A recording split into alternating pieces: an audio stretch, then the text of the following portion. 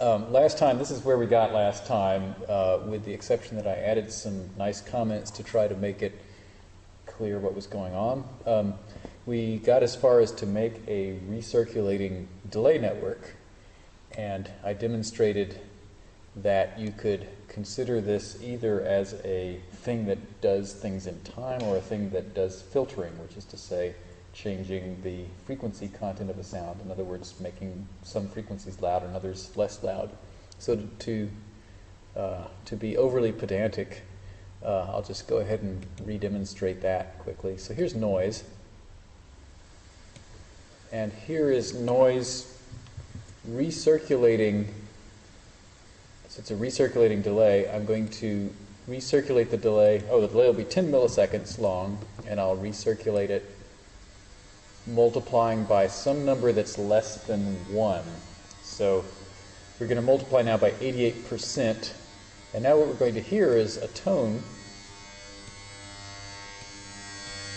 And that tone, uh, if I checked it on a piano, which I don't have one of right here uh, would, would be at 100 hertz because um, 10 millisecond period corresponds to 100 cycles per second. Or to put it another way, anything that comes in to this thing is going to come out and then come out again at a 10 milliseconds later and almost as loud, and then again 10 milliseconds yet later.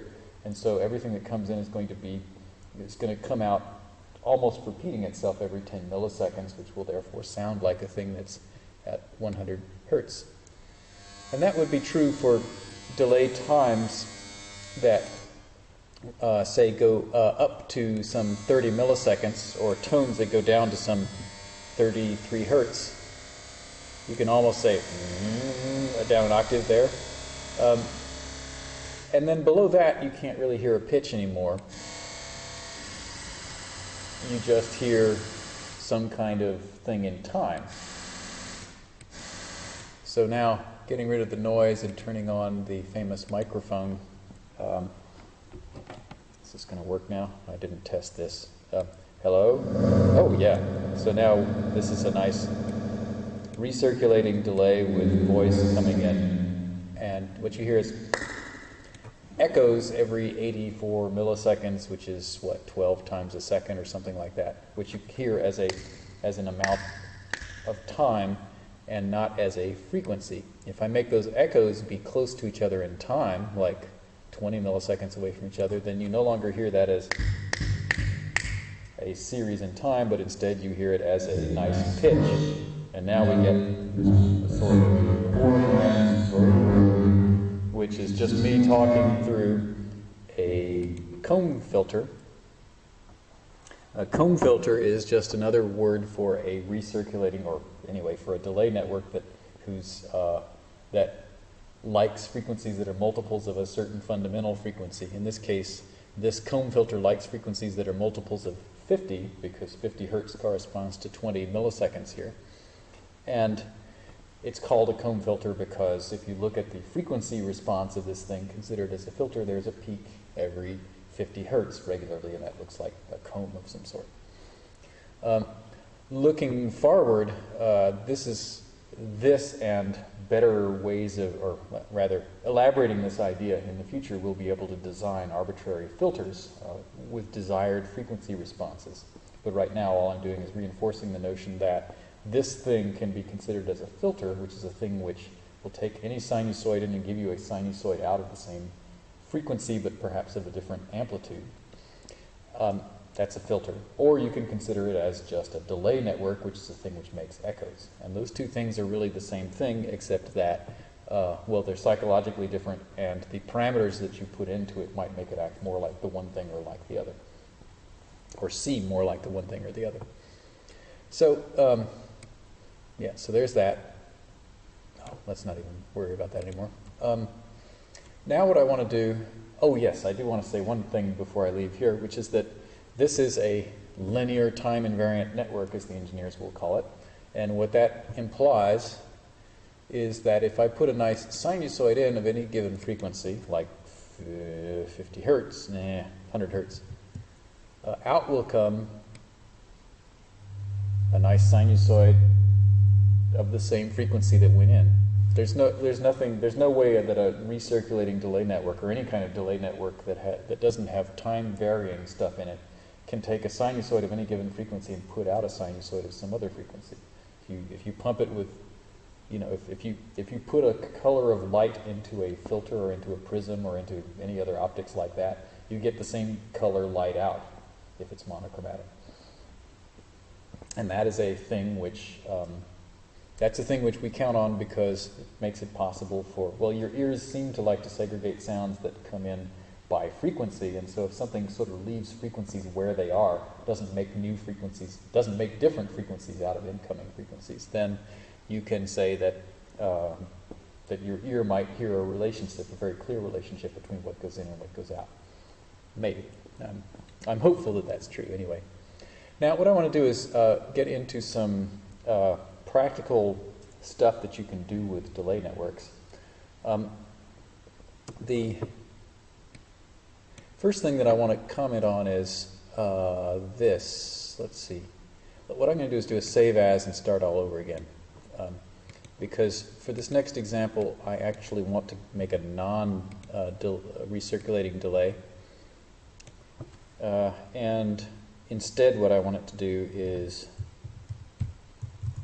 uh, be something where I can change the delay time. So we'll call it delay time change .pd. There it is, and now we're going to make it non-recirculating, which means I don't care about the gain anymore, as it turns out. I don't care about listening to the original sound, I just want to take the original sound and throw it into the delay line. let's rename the delay line just so you can have both patches open at once if you want. We don't need this pitch calculation anymore. Hey, go away. Whatever that is down there, get rid of it. Okay, and then we're going to read with the delay time that's given, and then we're just going to listen to it like that. All right, so am I doing anything stupid? Find out soon. And to, uh, so I'll do the brutal thing of putting a sinusoid in. In fact, I'll give it a nice 440 hertz sinusoid. And now we hear a 440. Very good. Uh, actually, let me make that a little bit louder at the mixer so that so that I don't have to do anything funny. Okay, and now we're going to change the delay time. Okay, so a 440 hertz sinusoid comes in and you hear it 20 milliseconds late, you don't hear the fact that you heard it 20 milliseconds late. What's coming out is a perfectly clean 440 hertz sinusoid, except that the phase is different, and that's just what that is. Now we start changing the delay time, though, and we get something else, which is ugliness. And the reason for that ugliness is very simple. It's just that if you change the delay time, it's the same thing as if you had a, uh, if you were reading from a wavetable and you suddenly change the location of the wavetable that you were reading from, that will make a discontinuous change in the amplitude or in the signal. And you will hear that discontinuous change as a click. All right? Uh, just, just to, um, yeah, just to throw out a warning, of course, if I were listening to noise, I could change this delay time and you can't hear the click because there's no correlation between one sample of white noise and the next sample anyway, so the fact that you change the place that you listen to it from doesn't sound like anything different from how the noise sounds to start with. Uh, I'm telling you this because you're going to make networks and they're going to sound great because you're going to try them with some noisy signal like a you know an overdriven electric guitar or something like that and you're not going to know that you're actually doing this to your signal until someone with better ears or more experienced ears than you points it out to you or something horrible like that. So test your stuff with sinusoids, which are the most punishing signal that you could possibly put through a thing, even though it's the simplest signal too, so that you can tell whether your, patch is clean or dirty. Oh yeah, let me get rid of this comment, which is superfluous in this one too. And now, so uh, so what if you wanted to be able to, okay, so make an application. Um, what I'm going to do is I'm going to take my nice incoming sound, I'm going to listen to it. Oh, great. I'll do it here for clarity's sake. I, I'll do this with a microphone now, just to annoy you all. Hey, come here. Okay, now what we're going to do is take the incoming sound, which is the microphone. I'm going to talk into the microphone and see if it's amplifying my voice. Okay, right. Slight delay, but that's right. And now I'm going to give you a delay, delayed copy of it. Hello. And this is, now it's Now it's obviously far far too late. late. So here's my voice and here's my voice my delay. Okay. But now I'm going to say, can I change this delay time continuously and get, a, uh, sorry, change this delay time with the mouse and get away with it. So now So I now want a different delay. delay. And- well, no, No, actually, actually, never mind. I thought it was going to be more forgiving than that, but but my voice is already low enough and, and dull enough that um, that changing the delay time is very very bad and nasty. So. Um, so I didn't succeed in demonstrating something where you could change the delay time and think it was clean when it in fact wasn't. Maybe just you know, I can do that and you don't hear the problem. All right, so anyway, if you want to have a delay line where you can change the time, then you have to work. And the work that you have to do is really better described as PD lore than it is described as anything theoretical. So now we're going to enter into PD lore. Actually, this is computer music lore because if you were using some other uh, software from PD, this would also be necessary and you would do almost exactly the same thing. And the same thing is this. Oh, before I, before I do it right, let me do it wrong another way. It's always fun to do things wrong. Uh, let's, uh, let's make it change smoothly. Uh, I'm afraid I'm being repetitious here because I think I already showed you this for, for samples, but I'm going to take this thing and just line it. So we'll say pack, pack the thing with 100 milliseconds of packing, and then I'll make a nice line. And then I'll put the del read on. Right? Okay, sorry, I'm really belaboring points here today, but this is, okay, belaboring. belaboring point. There's a delay. There's a delay. Now I'm going to say ah and change the delay. So ah did not help. Okay, the reason that didn't help was because the line is an audio. Sorry, the line is not an audio signal. It's only uh, updating every 20 milliseconds, and so you're just hearing 50 problems a second instead of whatever, however many problems a second I was generating with a mouse. It's no better, right? So now, oh, yeah, watch watch PD do something wrong just while I'm thinking of it. Um, really, at this point, uh, I got a nice error here. This, there's a signal coming out of this line, but Del read doesn't want a signal. And so I got a delay here which said, sorry, I got an error message here which you don't see very often. Signal outlet connected to non-signal inlet ignored. Uh, what that means is this thing was line without a tilde, which is a control object, and I, I was able to connect it, and then I changed it to something else that it wasn't able to connect, but it didn't have the heart to disconnect it because I might want to change it back. But nonetheless, it's not working right now. This thing really should turn red and blink or something like that, but okay. And also, by the way, uh, you, ha- you don't see this all the time because usually the order in which you do this is you get the object built and then you try to connect it, and then PD just won't let you connect it. That's probably the correct thing to do in that kind of situation. Right? But anyway, um, so you saw that happen. So this is not going to work either. So is there a version of delay read that I could plunk a signal into? And the answer is yes. There's one called variable delay. This started out in um, a different language where this wasn't uh, such an ugly acronym. Uh, variable delay is now is a delay object whose input expects a signal instead of a control message. And as a result, oh, well, as a consequence of that, how to say this? It does two things that delay tilde does, del read tilde does not do. The first thing is it's willing to change its delay time every single sample. But then there's a, another thing that immediately comes up, which is that if you're going to be changing delay times from one to another in a continuous way, actually one sample of accuracy isn't enough to make the result clean. And so uh, variable delay actually has to interpolate the incoming samples to simulate, possibly to simulate delays that are not integer number of samples. So del read tilde, the non-interpolating uh, control message delay, will always give you a delay that's actually a multiple of samples, a multiple of, of sorry, an integer number of samples. Um, and you can get pretty close to whatever delay time you want, like within 20-ish microseconds. Better than that, maybe. Uh, but variable delay, VD tilde, that one uh, will take, um, will actually make a four-point interpolation of the stuff that's in the delay line. The del- delay line is actually a storage area, right? It will go and find four points and make a four-point interpolation uh, among those points to actually try to guess what the sample ought to have been that is in between the samples in the delay line that corresponds to exactly the delay that you asked for.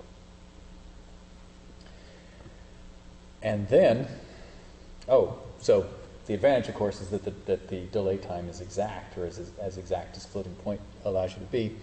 Uh, the disadvantage is that it costs more, there's more computation involved, and also that if you do that, then you're, um, see, that interpolation has its own frequency response, which is not perfectly flat. So you will not get a signal whose spectrum is exactly the same. Um, this, this thing, um, because of the interpolation, will, will drop off in, in high frequencies uh, somewhat. And that's a bad thing, which you can control by raising your sample rate, but which is always going to be there whenever you interpolate. However, going back to the good stuff, now what happens when I change the delay time is it does the right stuff, which is, okay, delay, oh, right, I have to do this again. Do this again. Okay, we have a delay. we have a delay and now Start we're changing the delay. In fact, I'm going to say ah and change the delay. Ah.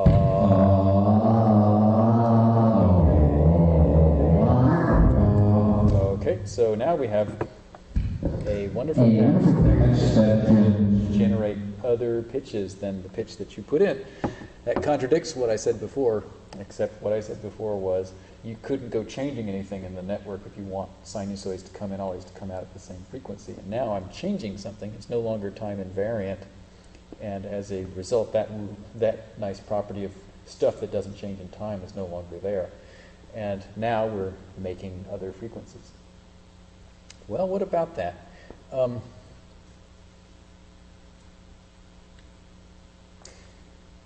what if you, oh, yeah, so let me, um, now that I've done that, I'm going to stop irritating everyone and go back to the sinusoid. Uh, let's turn this down. Turn on sinusoid. Here's the sinusoid. There's 440 hertz for you again. And then if I listen to the delayed copy of it, same pitch, but of course, if I change the delay time, I'm changing the pitch. Okay. Well, that's cool. That should make you immediately think I can do all kinds of things with this. I can take, um, I can take someone who sings in a monotone and make them sing a melody. Or vice versa, I could take something that came out in a melody and turn it into a monotone or things like that. Well, you sort of can. In fact, I'm going to work toward that. Um, however, first off, it might be nice to have an idea about what that uh, what that frequency is. In other words, how would you predict what that frequency should be? Because why would you want to do that? Uh, so that you can get whatever frequency you want out. Oh, frequency. What? Okay, so what comes out is a transposition of what goes in. So it's probably appropriate as as in a sampler. It's probably appropriate to talk about what kind of transposition you're getting. That's to say, what kind of change in frequency or relative change in frequency. What does the frequency multiply by? That's a transposition. Um, and to make that painfully obvious, I'm going to throw in an, uh, a pair of oscillators, and you'll hear a nice interval, which will be a fifth, because I'm going to tune this one up to 660. Let's see, do we hear a fifth? Yeah. And now, when I start playing it with a delay, when I start messing the pitches up, you will still hear that the pitches are related to each other. It's always a fifth moving up and down in parallel. That's the same thing as saying, yeah, the frequencies all got multiplied by some constant rather, or multiplied by some number rather than maybe added to some number like a ring modulation might have done to us or something like that. Okay? Multiplied by what number is the next question. And to answer that, I have to do something a little bit more, what's the right word? Little bit more controlled than this. Right now I'm just sort of mousing uh, willy-nilly at this message box, but, um, or sorry, at this number box, but in fact, what I should consider doing, ooh, you know what? Let's save this. Oh no, it's okay. We'll say delay time. And now we have a way of making delay times up here. You know what? I'll call the delay time down here. And then I'm going to make some message boxes so I can do stuff. So I'm going to say, for instance, let's jump to 100 and go up to about, well, yeah. All right. And then let's, yeah, sorry. We'll go to a delay time of zero. Well, I can't really get down to zero, really. Hmm. Am I going to tell you all this? I'm going to go to, all right, I'm just going to cheat. Or I'm just going to ignore the problem. I'm going to go down to a delay time of zero. And I'm going to gradually go up to a delay of one second. How long am I going to do it take? I'll take a second to do it. Whoops, sorry, that needs to be a pair.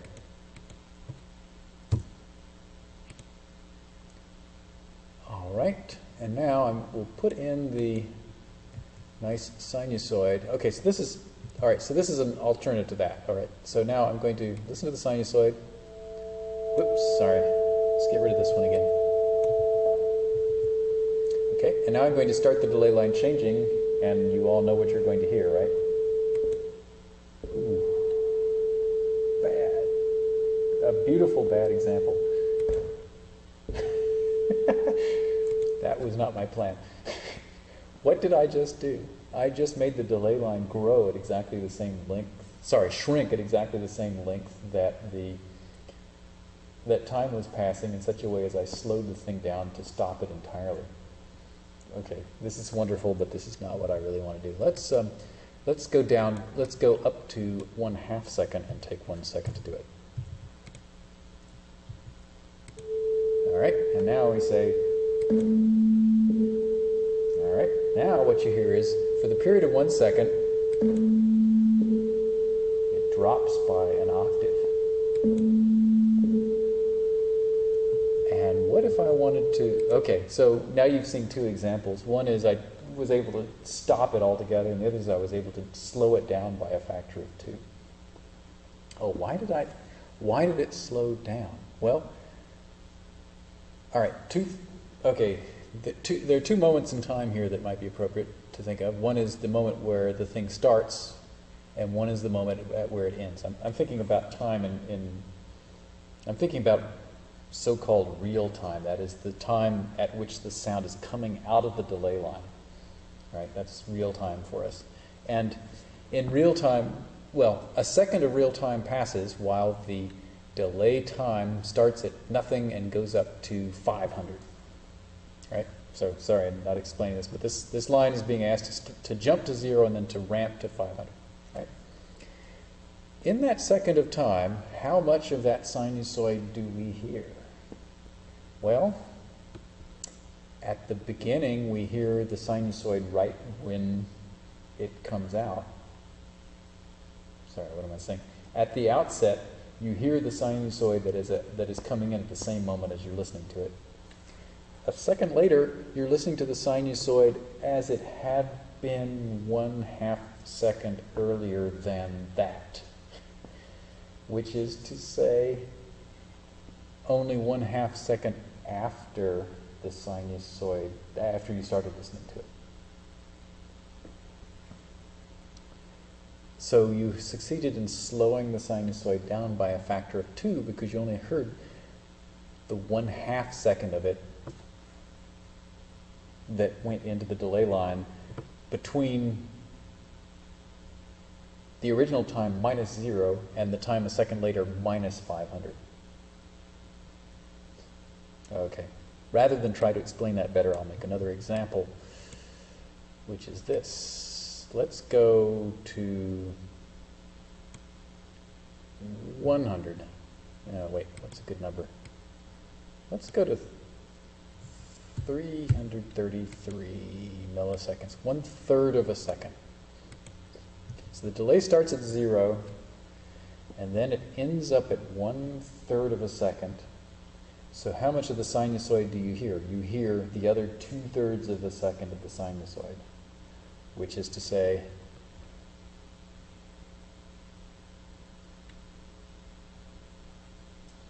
which is to say there's there's one third of a second we haven't heard yet because at the end of the, of the process the delay line is a third of a second long and so we didn't hear the last third of a second of the sinusoid so you only got the other two thirds so we all know what that is. As an interval. It means going down a fifth so now when I whack this it goes down a fifth so now if I kept on whacking this I could get it down to a fifth and I could get to stay there right Sort of. Oh, yeah, and while we're at it, now we have a nice tool for changing pitches. So now you can listen, let's see, shut this up. I'll be me, hello. So now I'm talking, and now me uh, talking a fifth below the frequency that I'm really speaking at. All right? So I just made a nice, wonderful object that transposes my voice down a musical fifth. Oh, yeah, and I, I played you already what it sounded like when I ring modulated my voice, which, which made it an inharmonic sound usually because there might be some weird interval between the voice I was speaking and the, and the, and the frequency of the ring modulator. Back when I was ring modulating my voice, you saw similar things when we were doing frequency modulation uh, two lectures ago. And now what you're getting is a thing which is different from that because it takes the voice and maintains the relationships between the partials that were in the voice, but moves them all down proportionally by the same amount so that their relationship stays the same, so that the so that the partials going in had frequencies with ratios of 1 to 2 to 3 to 4 to 5 and so on. And those ratios are fixed even though the, the frequencies of the partials are being multiplied each by two-thirds. This is a favorite trick of Laurie Anderson's if you've seen her perform. Um, however, there's a little bit of uh, problem here because if you listen, try to understand what I'm saying here, well, first off, there are clicks all the time because, of course, the delay time, I'm, I'm having to change the delay time constantly. Oh, why don't I just never stop? Why don't I just say, uh, I want the thing to go down a musical fifth, and I want it to last forever. So we'll say, I don't know, we'll go on for a million milliseconds, which is uh, 20 minutes-ish. And we'll do that over 3 million milliseconds, which is an hour. And now I can talk for the, oh, ooh, better make the delay line real long now, right? Like instead of five seconds, maybe five, uh, I don't know how long to make this before I run out of memory, but let's just live dangerously.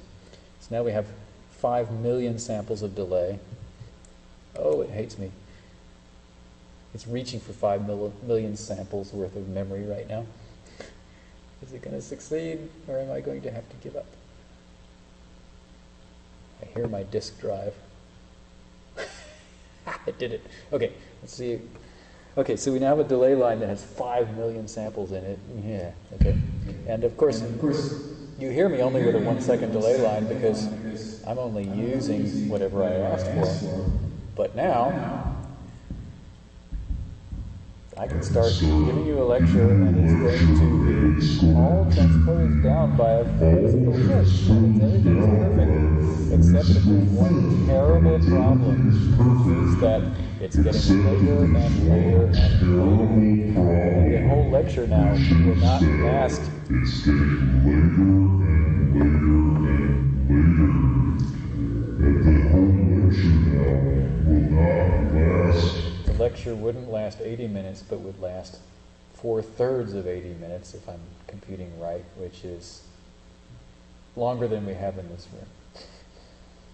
Or to put it another way, well, duh, the delay time is getting longer and longer and longer. And now, just for fun, hello, we'll just give ourselves a bomb that will wake us up in a few seconds. So this is not a good way to do a pitch shift if you want to regard that as a real-time process, right? How would you, okay, so maybe we should go back to the other thing and be continually resetting the delay time to smaller values. But then, of course, the smaller values, ah, but then you couldn't do it without clicking, right? So what would you do? The answer could be you change it, but you shut it up while you're changing it, and then you start, let it start off again. How do, uh, okay, let me try to explain this better. Okay, so going back to, oh yes, and I'm going to do this two different ways too, as, as I do a little bit too much of, oh, you know what, I'm going to get rid of this, I don't like what this is doing to my disk drive, so I'm going to go back to using a reasonable amount of memory here. Um, okay, and you didn't see this, so I'm just going to erase this from the record, right? We're going to lose this idea. Uh, what we're going to do instead is um, make the delay line get quiet, change, change to zero, and then get louder again, and then start changing. Let's see. Let me even make a simpler example than this. Okay, so what I'm going to do is I'm going to. What order am I going to do this all in? Okay, here's what. Okay, so so I'm going to show you two different things. Okay, so first off, this was cool, and we're going to save it, and then we're going to do a save as, and we're going to go back to uh, regular old. Uh, how about three delay time change, and then I'm going to do uh, make more. I'm going to make a ridiculous file name. I'm going to use an envelope generator to change the delay time cleanly. So now we're going to go back to Del Read for uh, Del Read for uh, let's see, what's the right word? For simplicity's sake. So we no longer have the right to put this line tilde in here, and it's complaining to us, but I'm going to get rid of this.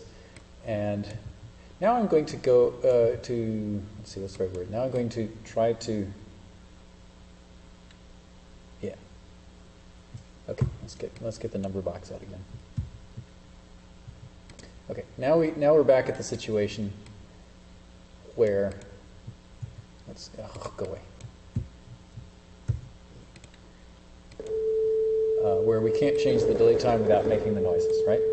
So what if I wanted to change the delay time but not have the bad noise? Well, the answer is we mute the sound and then once the sound is good and muted, we change the delay time and then we unmute the sound.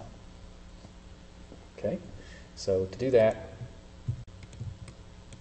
we're going to have to multiply it by a ramp generator in order to mute it.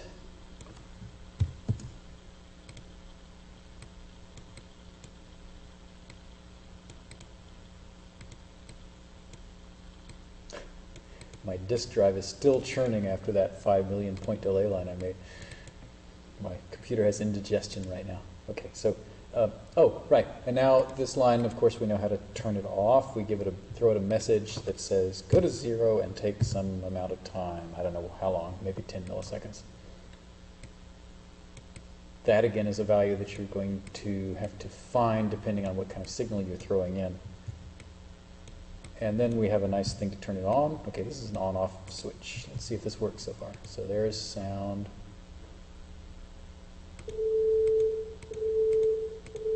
Okay, idiot's delight. All right, now, so what we want to do is every time this thing changes,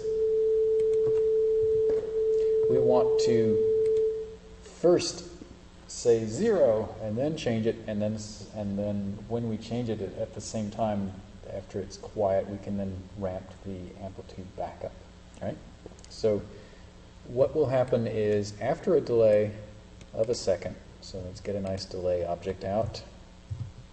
Sorry, after a delay of the, what am I saying? Okay, so what I want to do is, I want to make something that does this. It mutes the thing, changes the delay time to whatever we want, and then turns it back on. All right, so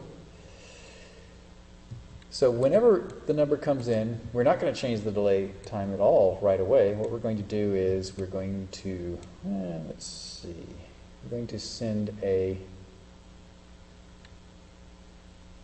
eh, yeah, just, um, sorry, this is, I'm going to be a little bit pedantic here. Um, I'm going to send a bang off to this nice shut up button.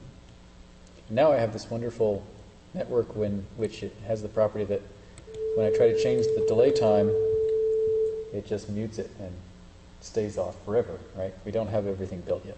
And then after a delay of 10, so we'll bang this delay of 10 and then we'll turn it back on. And now we have a wonderful patch that whenever we change the delay time, it just turns the thing off and then turns it back on, which you can hear a little bit. The only problem with this is that, well, the only problem with this is that, uh, well, first off, I can't really ramp very nicely with it because it has to mute and unmute it very, very quickly, which sounds ugly. But this is, but I can still change it like that. It's, yeah, okay, as long as I'm putting something complicated through we'll get away with that. But it didn't actually change the delay time. I'm pulling the, I'm, uh, no, nobody's talking to the del read. And of course, I can't just send the delay time in right away because at the time I'm sending the delay in, it hasn't succeeded in muting yet. It sent this message to start muting, but I really need this thing to come in 10 milliseconds later after this thing has shut up. So let's, um, let's take the signal and store it, and then when the delay 10 is done, is when we send the new value of the signal delay. Hmm. All right, this is going to need a little bit of cleaning up before it's really palatable. But now we have something where we can change the delay time and it's smooth. So now, for instance, and to prove you to prove to you that the delay time is actually changing, I can now use it as a real-time thing. So now you hear this nice delay, and now, oops, and now the delay goes away, and now the delay becomes a second. Oops, if I type it right. And now the delay is a second. And now the delay is going off, it's very short. Something like that. So now I can change delay times on my voice, and it won't won't make that ugly sound. But at the same time, well, all right. That's, so this is a good thing. This is a good way if you want to make yourself a delay effect to be able to change the delay time and not have people complain at you because it sounded ugly. Right? Now, to go back, uh, the previous patch, I actually got the variable delay object out and was showing off Doppler shift, and then I was saying, oh, it would be cool if you could use that Doppler shift thing to, to make a pitch shifter. That's to say, a thing where I could sing in at some pitch and out would come continuous singing in another pitch without having a delay time that was gradually either growing or shrinking. So let's apply this principle to a, to a variable delay line Ah, right. So the variable delay, delay is changing all the time, and you can change the delay just fine without having badness, but the thing that causes badness is when you cause the delay time to change discontinuously, which you had to do periodically. So getting the, okay, so let's see. Now what I need next is actually closer to this patch than the previous one, so I'll start with this one. Okay, and now we're going to make a prototype, uh, proto pitch shifter.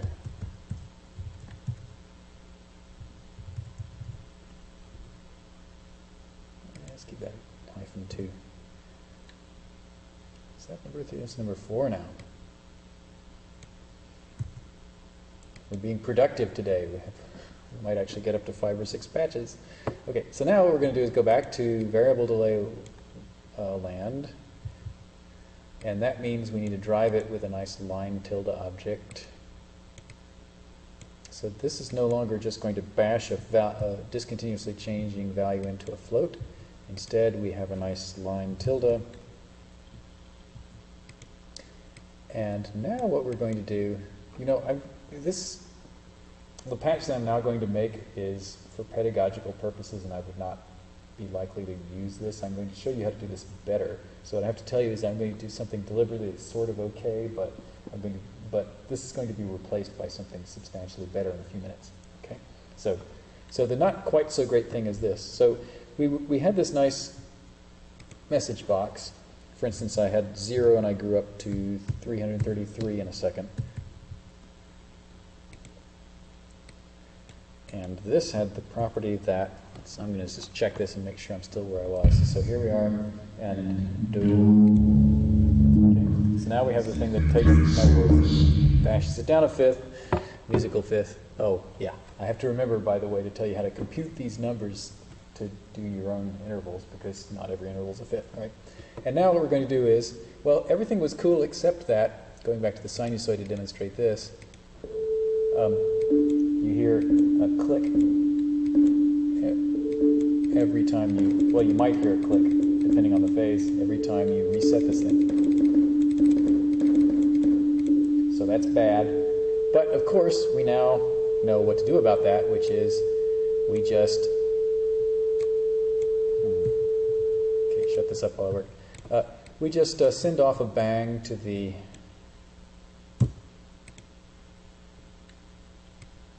Ooh, that's bad because that's going to make two bangs. Let's um, let's give ourselves a nice button.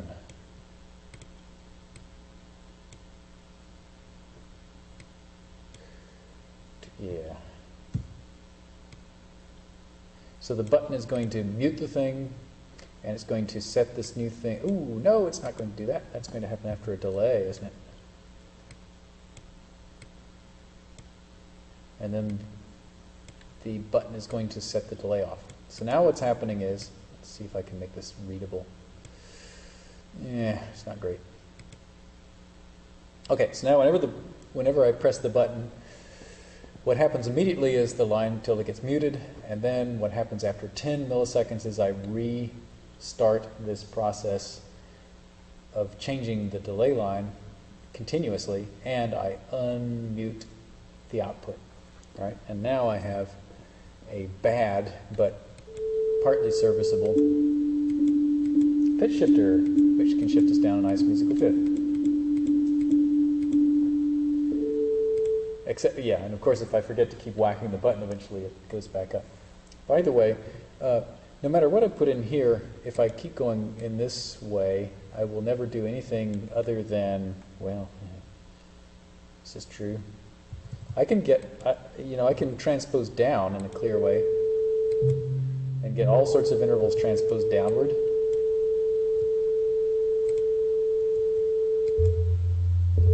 Oh yeah, how about 200 then? There's a musical, there's a perfect third for you, if you want it.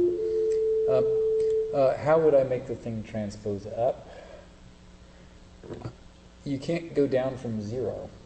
So rather than do this, you would start at some value like 200 and ramp down to zero over time so that the value, so that the length of the delay line is decreasing instead of increasing. And then we get, anyone want to guess what interval we're going to get now? A perfect minor third up. Okay, so why did it go up? The delay time decreased. It, decreased from 200 down to zero. So what we, oh, so over the period of one second, we quit hearing something that was 200 milliseconds old and gradually got to where we were hearing real time with a delay of zero. So we heard 1.2 seconds worth of the sinusoid in a mere one second of time, which means we heard it at five, no, at six fifths, at one and a fifth times the rate. That's to say it's 1.2 seconds divided by one second worth of sinusoid that we heard over one second of time. We heard it, we heard it 1.2 over 1 times too fast. 1.2 times normal speed. In general, over this amount of time, sorry, if this, if this amount of time is one second, then the amount that we hear is this minus this plus 1, oh, plus 1 second. So this is actually a fifth of a second. So in units, the delay, uh, this, the, what we get is the The transposition is one plus, okay, one because time is always moving forward. So you, so you, al- so if, if you do nothing at all, that you get as much out as you put in. So it is one plus this minus this is the ratio by which the frequency went up. And if you give these th- three things names, then you can make a formula, right? And um, yeah, right.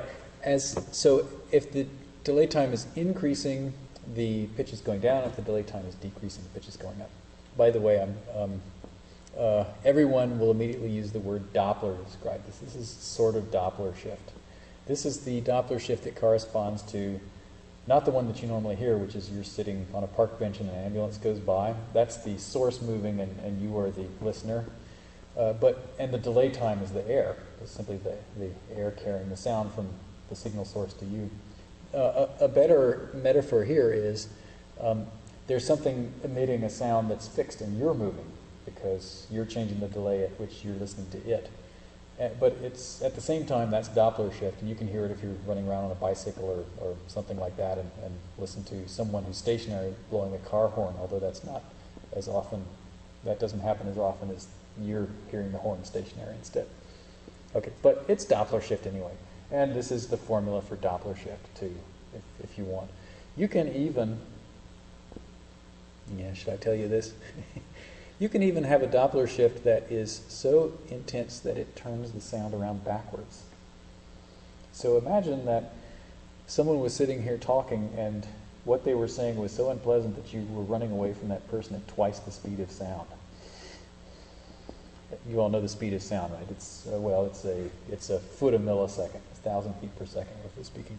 So you're you're make, you're hightailing at two thousand feet per second away from your professor, and as a result, you're hearing everything that the professor is saying backward because you're actually, I mean, the sound is sitting there in the air waiting for you to hear it, but you're traveling at twice the speed of the sound, and so you're hearing the sound as it's getting further and further away, further and further down the, delay line. Oh, we can even do that. Watch. I can make this delay line do that by saying, we're going to start with no delay at all, and then we're going to run two seconds of sound of, of time away in one second. Let's see if I can do this. And then I say anything at all like fruitcake. And nothing comes out because I didn't do anything here. Okay. Oh, and anyway, I did that. Okay. Fruitcake. And it didn't work. Oh, I didn't put the comma in. Also, I'm, this is terrible. I, uh, I'm, I'm making all sorts of distortion because I'm being sloppy about the sound. Okay, now let's see. Here's something. Test. Test. What? Test. What? Oh, I have to speak. Oh, I have I have to speak before you start running away from me. I have to speak So you're going to hear it forward and then backward, So you're going to hear it forward and right? back. Like this. Jelly beans. Like this. Jelly beans. Right? No, it didn't work either. Right? What's going on? Okay, let me see. What's going on? Yeah. Jelly beans. Jelly beans. Jelly beans. Jelly beans. you just- All right, I'm not I sure how already to set set the the time is, but it's working. today, I'm- now the timing is, but it's working. I'm changing um, my I'm- voice to go around backward. I'm still my voice to go around backward. Oh, and that was feedback. Ignore that. Okay. All right, so that is a transposition factor of minus one. In other words, I'm running the sound around backward by changing, by making the delay line get bigger faster than time is even moving. Okay, sorry. So that was a slight digression. Um, and so anyway, uh, let's going. Let's go back to this thing. Uh, so to make a very cheap uh, pitch shifter, we would say metronome. mm, I don't know. Choose some number of times a second. We're going to do this. Maybe, maybe ten times a second.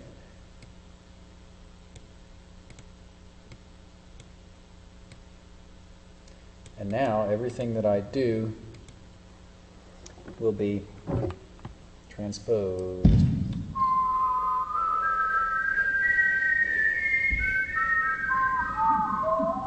Okay, transposer, pitch shifter. Very nice. Okay. Um, this is kind of a bad pitch shifter, although it's working. Uh, let's make a slightly better pitch shifter by. Hmm. Okay, so it's a little bad that It's a little bad that, uh, that the thing is actually dropping out completely. What you might wish to do is have two delay lines and be crossfading them so that the sound is continuously working um, when, uh, even when you wish to be changing the delay line.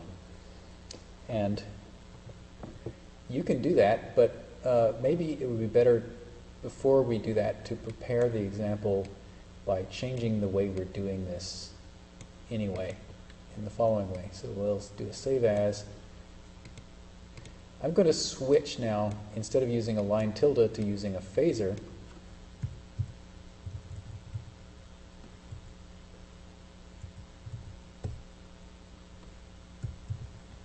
to drive the delay time. Oh yeah, and why? Well, it's going to you're going to be able to figure out why immediately when I show it to you. So now, ugh, go away. Okay, we don't need that anymore. Uh, I'm going to quit doing this for now because this is not going to really work for us. Uh, so for right now, I'm just going to cheat and say multiply by 1. That's, that's to remind me that later on I'm going to want to control the amplitude again. Uh, but meanwhile, I'm just going to drive the line tilde with a nice phasor, and it's going to have some nice frequency going in. And, oh yeah, and if I just throw this right in, oh, we don't even have a line tilde. If we just throw this right in, it's going to vary between 0 and 1, which is going to be interpreted as milliseconds down here, which is not so great. So let's, uh, we're going to have to change the range to something reasonable. And I will make that be a message box too. And at this point, I should say that I don't actually know what order this delay write and this delay read are occurring in. Oh, I'm going to change the late name again, just so we're up to date here. Um, so it would be appropriate at this point to add a couple of milliseconds because there could be a 64 sample delay uh, engendered by the fact that this del write might happen before this del read. There's other PD lore that I'm going to avoid telling you about um, how to force that thing to happen right. But right now I'm just going to add a nice delay, which ideally should be at least a couple of milliseconds. Maybe I'll take that away later and see if it hurts us. And now, let's see, we'll go once a second and we'll have it vary by, let's say, 200 milliseconds, and then we will throw a nice sinusoid in there, which we'll listen to. And out comes, you all know it, so it's going to be, if I got it right, it's going to be down a minor, a major third. Ta-da. Ooh, bad example. this example, this was too good. Uh, I can change the delay discontinuously by one second, and because there are exactly 440 cycles of this thing in a second, I got away without any discontinuities at all. Don't try this at home. Uh, or let me show you what could go wrong if you did. Let's do 440 and a half. And now we have, everything's going great, we're transposing, but there's a discontinuity every second when this phasor resets. While we're here, okay, so I'll go back to 440 um, to pretend it's working nice. And now I have a nice continuous control over the pitch shift. And in fact, the shift of the pitch I can compute, I think, which is, okay, so this number is really a fifth if, if it's in um, seconds. It's 200 milliseconds. Oh, this is interpreting its input as milliseconds. So what's happening now is the phasor, so the phasor is happening in an amount of time which is 1 over this. And it's happening, and it's changing by, by this amount every time. And so the transposition that comes out, the fact, transposition factor is, is 1 if there's nothing happening at all. That's to say when the phasor isn't moving at all. But if it is, if the phasor is going, then the thing is is being increased or decreased. Well, it's being increased by one sorry, that's the one which is just oneness because time is passing. One minus the product of the phasor frequency and the phasor amplitude. So in this case, it's one minus one fifth because this is in hertz and this is in milliseconds. So this is really 0.2. So this is one times 0.2, which is one fifth. And one minus a fifth is four fifths, which is down a major third. Okay, now you know how to compute, no matter what this is, what it should do. Um, uh, let's see. So this is now one minus two fifths, which is three fifths, which is a major sixth. Oh yeah, let's play the original. Uh,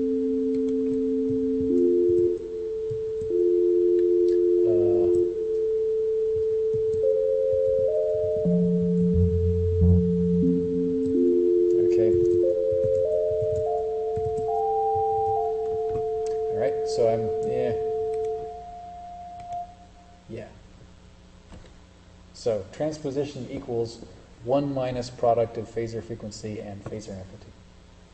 Okay, and then you can work that backward any way you want. Now, uh, the next thing is, let's get rid of the clicks. Oh, you don't hear the clicks because I've, I've fudged it here, but now if I change either this frequency or this,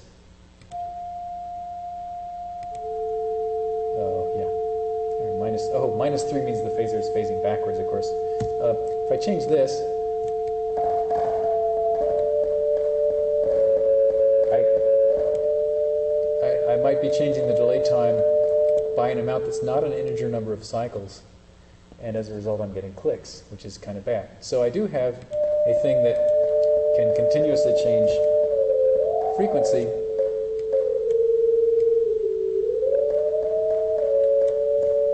But it's clicking like I'll get out, and that's not something that I want.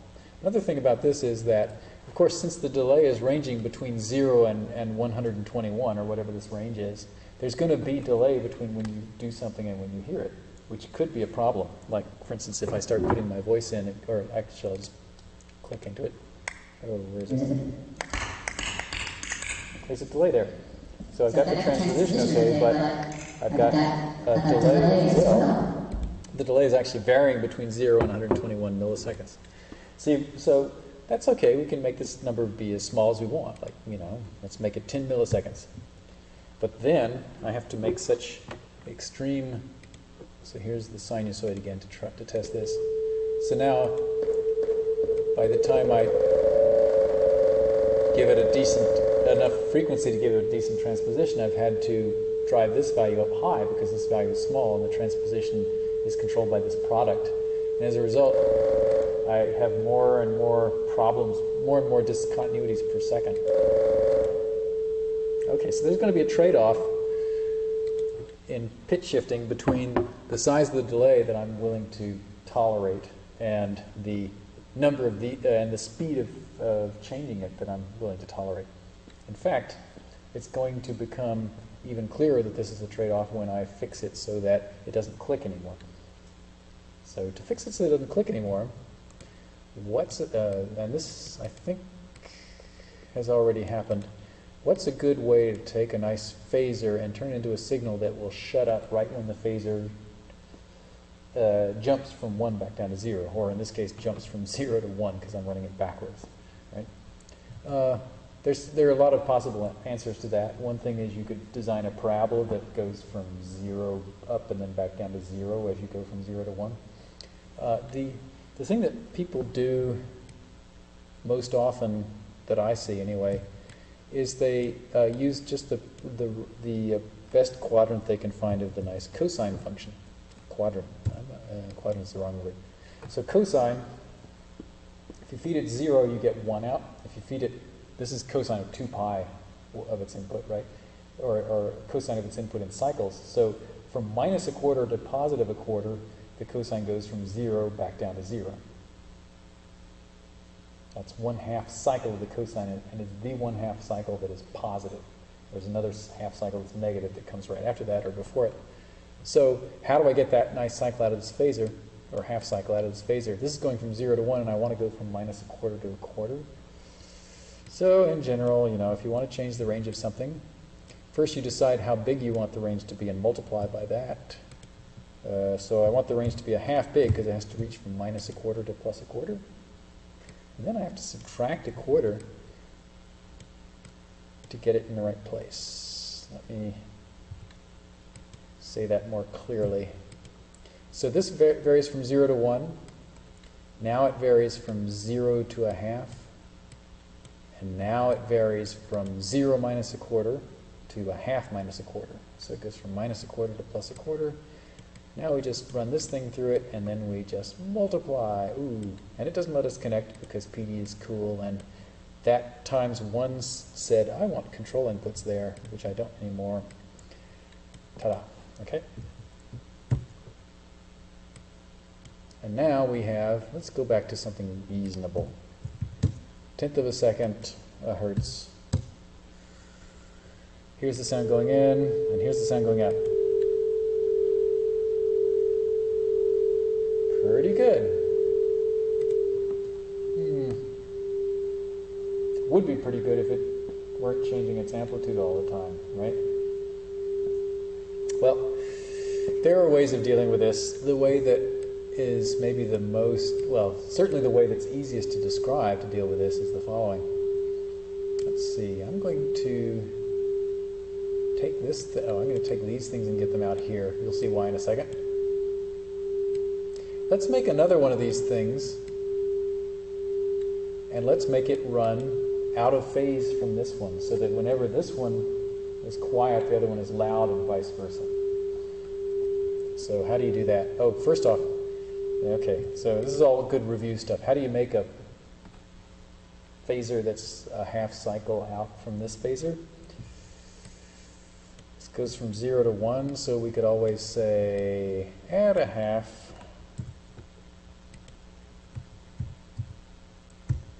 That means we go from a half up to one and a half. And then if we wrap that,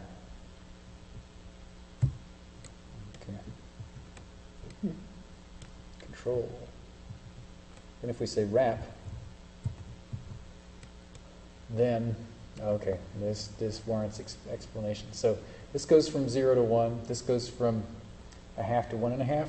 This wrap leaves leaves the part that goes from a half up to one, but then the part that goes from one up to one and a half becomes um, a straight line segment goes from zero to a half. And the result, draw, you know, draw this out on a piece of paper if you don't believe me, but the result is just line segments the same as this, but this thing changes value discontinuously whenever this thing crosses a half, because that's when this crosses one, and that's when this wrap changes its mind about how many, what integer to subtract. So now we've got ourselves a nice out of phase phasor, and we can use our out of phase phasor. Let's see, I need to be compact here. Maybe I just don't have to be so compact. Let's move this stuff out of the way somehow. Don't need that anymore. Let's move this whole thing over. Now, do I have room to have another one of these? Not quite yet. So I'm just going to take this whole thing, including the multiplier, and make another copy of it running out of phase.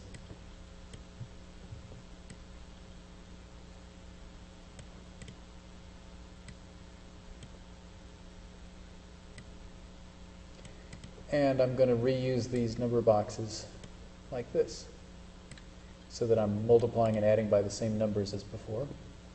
And I could clean this up, but I don't know how. Yeah, I mean, the right thing to do would be to do this and move things around, but maybe this is clearer for now. Okay, so now, now we have two, two transposers, and they are, one of them is, is jumping when the other one is being stable. Oh, the jumping one, of course, is being faded out, or has been faded out, in order to allow it to jump. So one is always fading in while the other is fading out. And then, oh yeah, so listening to just the first one to start with, it's doing that for us. Let's make it go faster. And the other one, if we listen to it alone, is doing something similar. Whoops, except I have to repeat these things because I didn't put them in the objects yet. And now, if we add them together, we get something that's not quite as variable in time. It's not perfect, but it's a little bit better. And now, again, we can continuously vary the pitch that's coming out. We can also drop the size of, what's the right word? We can drop the amount that it's, um, it's changing the delay by, but of course, in that case, we have to move the phasor faster in order to get a fixed transposition. And this, okay, so let's go back to listening to the voice. So this is the classic, uh, this is close anyway to the classic pitch shifting algorithm. So now we're shifting pitch, and we have a decently slow, sorry, decently small delay, and a decently, you know, reasonable transposition. And we can go up like this, and so on like that. And we can make silly sounds by, you know, transposing up an octave or two, which I won't get into. It'll sound like a chipmunk, right? So this is now, this is a classic, classic kind of a patch, which you could call a pitch shifter. Uh, people frequently call these harmonizers, but the word harmonizer is a brand name, so call it a pitch shifter if you want to be generic. Um, let me just show you where this shows up in the help browser because you might care how to compute appropriate, what's the right word, appropriate um, numbers to stick in the phasor and the delay line yourselves. And of course, I did all that work, and if I were a good didactic person, I would make you all do this work too, but instead I'm just going to show you how you find the answer. You go down to the delay examples and you find the where is it? Delay, G09 pitch shift, and just get this patch out.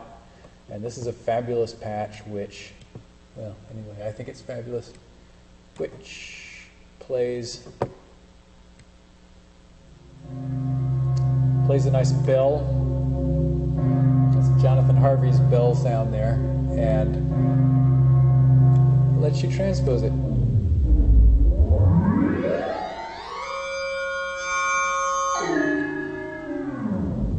Any number of, well, okay, so it's computed in halftones. Okay,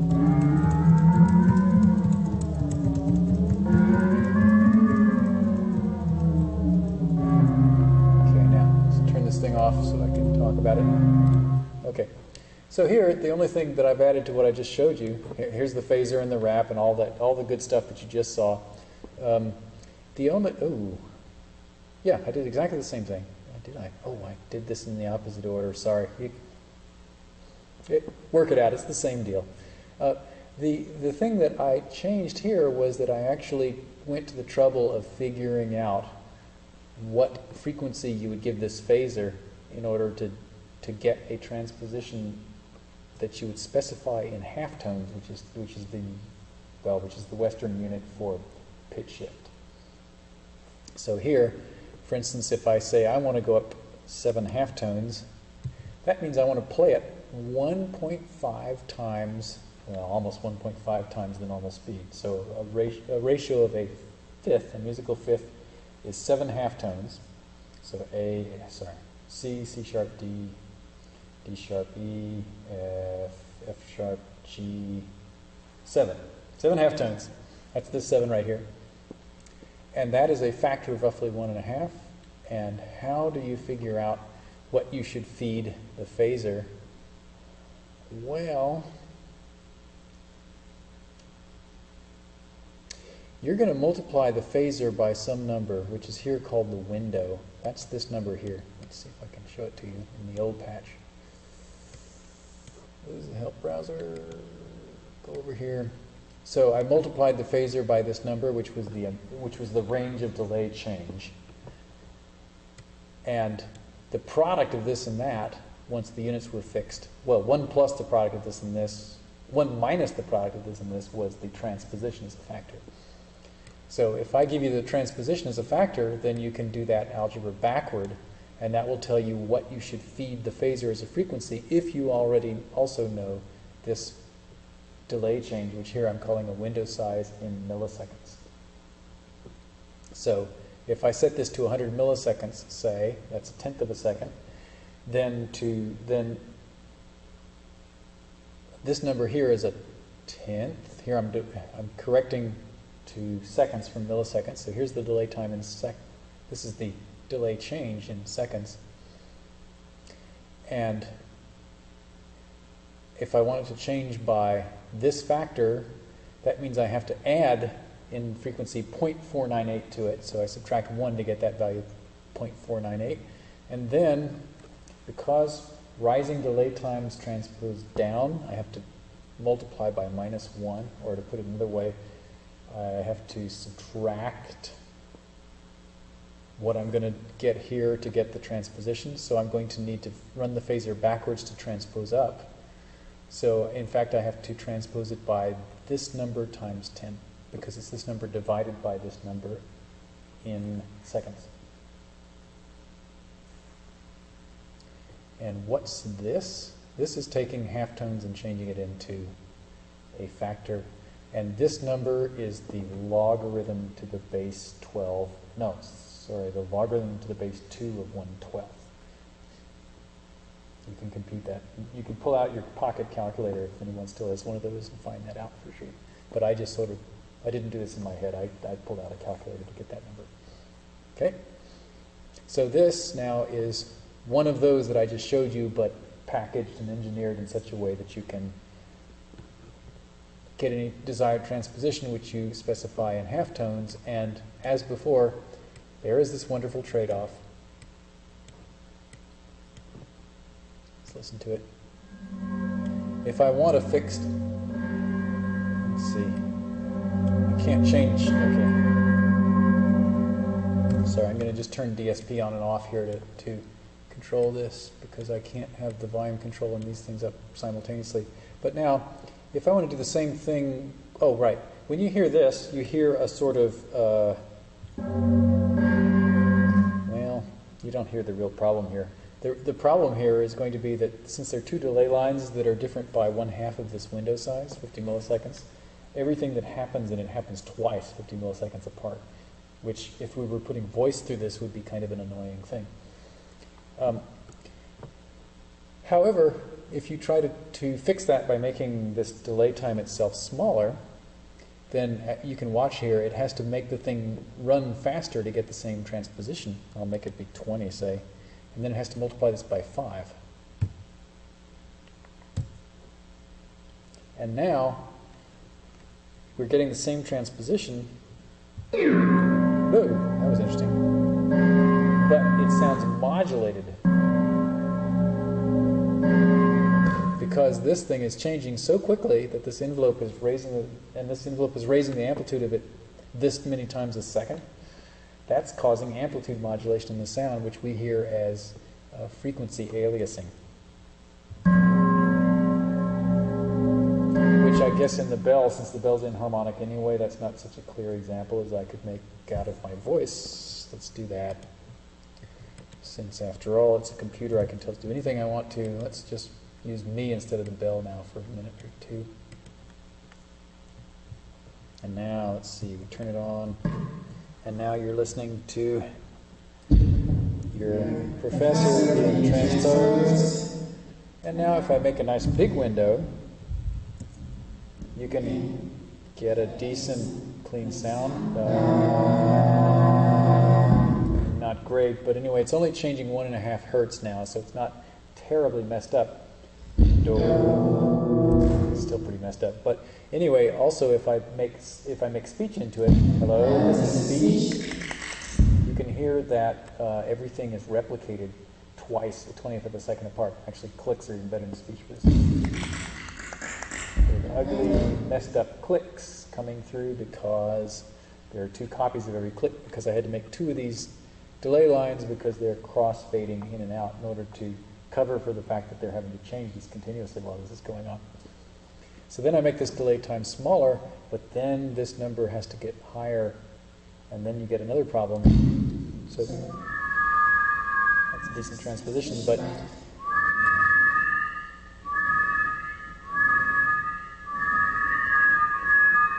wow, I don't know why I'm getting away with this. Well, this contradicts what I'm trying to tell you. I was able to get, get outrageously small delays here. Yeah, but it's just inharmonic now, although you can't really hear it.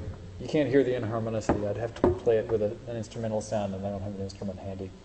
But this would be a problematic setting too, uh, because this number is too small, which is pushing this frequency too high to be good. So either this number is too large, or this number is too large, and you will never get both of them simultaneously small with such a crazy transposition. People usually use pitch shifters with small transpositions, like a half tone or a quarter tone, or a half tone or a whole tone, like this. And then you can get both this number and this number decently small simultaneously, like maybe this ish, right? And that's those are almost kind of reasonable numbers to be feeding in to both of these inputs. But for larger transpositions, you have to either get a ridiculous window size, which is the maximum size of the delay, or a ridiculous frequency of, of interchange, and you will get gradually more and more aliased sounds as you do this. All right, so in the interest of time, I'm going to skip over the rest of the lore of making cool things out of delay lines, although there are other cool things that you can make out of delay lines. I will just mention the existence of one of them because it's a good thing. You can make artificial reverberators out of delay lines. No. I do want to save this, and I'm going to close that to get it out of here. Oh, wait. Save and close. I'm going to go back and get my help browser and just go get something that, uh, that shows off a nice reverberator just so that you know it's, it can be done. There are library reverberators even in, in PD Vanilla, which you can get, but this one is the pedagogical reverberator, which just shows how you make reverberation. So here's the test input again. Let's see. Oh, yeah, right. This patch is designed in such a way that you that you make this pitch move around and you and it shuts up when you stop moving the thing because well you'll see why.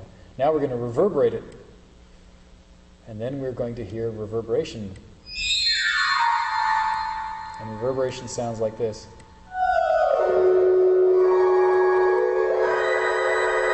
And you can guess how I might have done this. It's recirculating delay lines.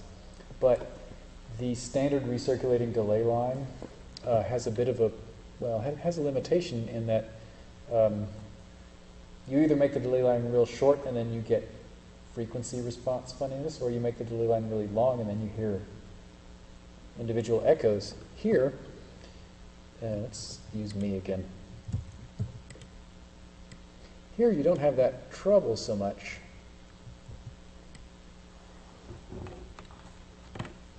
So now, let's see, now you have me being reverberated, but you don't so much hear, sorry, that's not going to be clear. You don't so much hear individual uh, delays, although this is not a perfect one, as you just hear reverberation. That's to say, sound that's sticking around after the sound, like it would in a real room.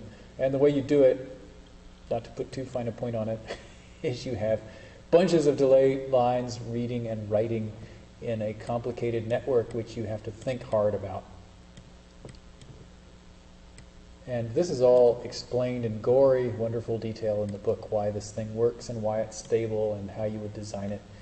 Uh, and all I'm going to do is just sort of say this exists and go find out how to do it yourself. Or if you just want reverb, just say reverb 2, for instance. And up, oh, uh, let's give it a nice big, I'll give it a nonsensical argument just to make the box big. Now you get a nice reverberator with inputs to control various things about it. Um, and there's a nice help thing on there.